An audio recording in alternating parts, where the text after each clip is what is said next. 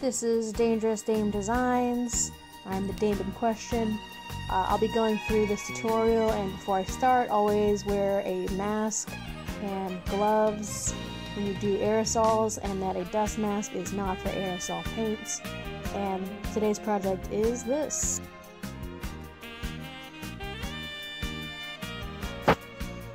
So what I'm here doing today is the Chibiusa Supers version where she has the gradient skirt where it fades from a dark red to a bright hot pink to a sort of yellow color.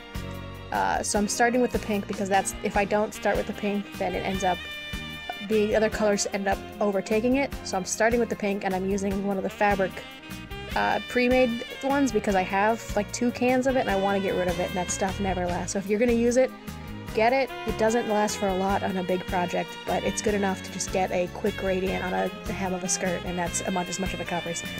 A lot of people end up using like eight cans when they start covering real things, but for just one thin line around four yards of material, it's not that bad.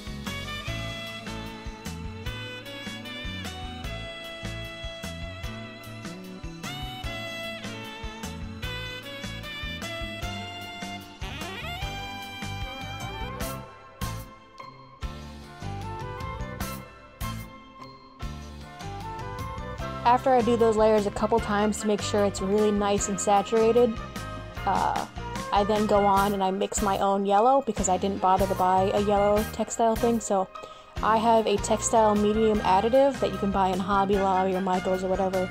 And you can just add it to acrylic paints and then you water it down enough that it still works, but that it still adheres so it ends up basically dyeing the fabric for you. But then I used my house painting gun in order to get a nice soft gradient with the yellow because I didn't want it to show up too super bright.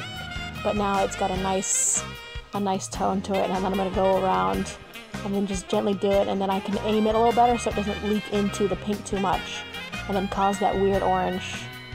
And it'll end up, if you make it too watery, I aim for a larger area gradient because I wanted to go up higher because I'm going to put more gemstones. But if you want it tighter, make sure it's thicker so it doesn't drain and start uh, dyeing upwards past it. So you always have to watch out that you don't add too much water. Just enough that it'll go through the gun nice and smooth. And you can use different guns. This is just the one I had out because I was uh, painting a large piece earlier and that was what I was using. And then eventually I went back through and I made, I mixed red fabric medium uh, to go and do the last edge.